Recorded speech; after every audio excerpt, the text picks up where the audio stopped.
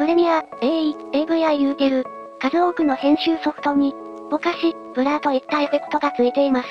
ぼかしはつまらないいえいえ。スルーされがち、超スタイリッシュなエフェクトです。実写のボケを思い出すと、色々な動画で使える表現になりそうです。皆さんこんにちは、映像学区へようこそ。このシリーズでは、映像やデザインについて発信しています。拡張編集。AVI ユーテルの機能を使いやすくする拡張編集のうち、我々はアニメーション効果に注目しがちです。しかし、スタイリッシュな動画を作るなら、こっちのデフォルトも楽しい。以前紹介した基本効果のように、初心者がよくスルーする、ぼかしに目をつけました。ぼかしの面白いポイントは2つあります。一つは、とにかく自然なことです。ボケ感は現実世界に存在する現象の一つなので、人工的に作ってますよ感は多少薄まるというわけです。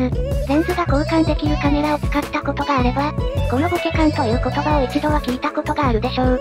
一般的に大きいセンサーで、大口径のレンズを使うとでっかいボケをゲットできます。また焦点距離が長い、つまり望遠であるほどボケます。ちなみに英語では、合計というそうです。不思議。もう一つの面白いポイント。それは、情報を消せるということです。そもそもなぜ、多くのカメラユーザーがボケっていいよねというのでしょうか。それは情報量をコントロールできることにあると思います。例えば街中で見つけた、やべえオブジェクトを撮影するとき、主題のオブジェクト以外は、そんなに重要じゃないということがあります。映っているとデザインとして邪魔になる例です。そんな時背景をぼかせば、主題だけが目立つ、まさに整った構図をデザインできます。この自然に、情報を消せるという夢のコンボを得られるぼかし。今日はこちらを使って動画を考えます。使うソフトは AVI ユーテル。しかし他の数多くのソフトでも似たことができるでしょう。それでは、どうぞ。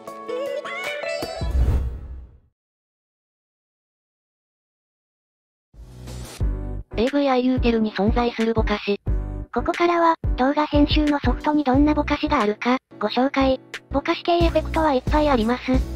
ここで述べるものの中には、ブラーなのになぜかリストにないものもあるでしょう。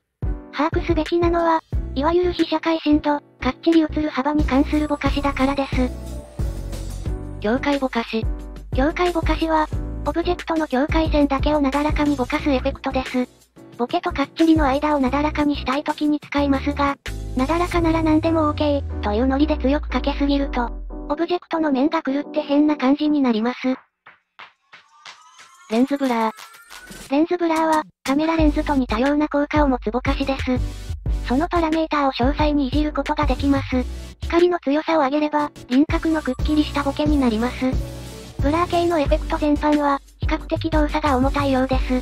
カジュアルに編集する、というか、YouTuber 的投稿の編集をするなら、負担が大きいかもしれません。ぼかし。他のソフトであれば、ガウスブラーに当たるのでしょうかなぜシンプルそうなぼかし、が最後なのか？これは、AVI ユーテルで最もバランスの取れたぼかしだからです。このぼかしで素晴らしいのは、とにかく手軽だというポイントです。とにかく手軽。適度にかければいい感じに背景がとろける。タイムラインに並べても、プレビューががっつり止まるほどは重くないです。映像作品を作るならブラーにこだわった方が良さそうですが、日常的なくだらない動画であれば、このぼかし、で十分だと思います。雰囲気さえ出ていれば、効率を考えてもいい頃です。さて、ここからはぼかしを使うテクニックをご紹介。モザイクの代用。ぼかしが持つ、自然に情報を消せるという夢のコンボ。これを知っておけば、かの有名なモザイクとうまく使い分けることができます。モザイクの特徴を一言で表すと、あからさまに隠すエフェクト、です。例えば邪魔なウプ主を隠したいという時に、このモザイクエフェクトはあまりにも露骨すぎます。そんな時、うまく馴染むようぼかしを入れれば、違和感が少なく済みます。いや、違和感がないとは言えないと思うけれど、少なくとも、画面全体にモザイクが入るよりは自然です。さもモザイクが悪者かのように描いていますが、いつもそうとは限りません。例外があります。それは、露骨に隠すのが面白いシーンです。モザイクは、映ってはいけないものが映ってしまったという、何かこう、一つのネタを醸すようになりました。これをうまく使えば、強引に視聴者の視点をモザイクまで寄せることができます。要するに使い分けるといいよね。ってわけだ。情報をなかったことにするならぼかしがいいかもね。でも主題にできるくらいヤバいものであれば、それはモザイクの出番が来るとも言えるでしょう。トランジション。カットとカットをつなぐ部分。これをイングリッシュにカッコつけてトランジションと言います。へえ。カットの間をクロスフェードでつなぐとか、あるいはシーンチェンジでつなぐとか言ったりしますが、これらは全てトランジションを指します。映像学区が提案するのは、このトランジションにもぼかしが使えるんでは、ということです。トランジションを使う理由、それは、二つのカットをそのまま繋げると落差が激しいからです。ここでぼかしを使えば、二つをある程度均質化できるというか、落差を消すことができます。まあ知っている人は知っている通り、こうしてこうしてみると、このシーンチェンジの中にもぼかしがあります。このシーンチェンジでぼかしやレンズブラーを利用するときは、タイムライン上になるべく長く撮ることを勧めます。あんまり短いと、フォーカシングが急になるので不自然です。余裕を持っていきましょう。基本的には、シーンの切れ目に向かってボケを増加させていき、繋いだ瞬間からはボケを小さくしていく。こうやって繋ぐと、カメラ制御でぐるぐる回した時などに落差が少ない描写を得られます。キャラクター登場時にこれを応用すれば、ボケから徐々にフォーカスするようなものも作れます。フォーカス送りというらしいです。へえ。やはり視聴者の視点をうまく誘導できそう。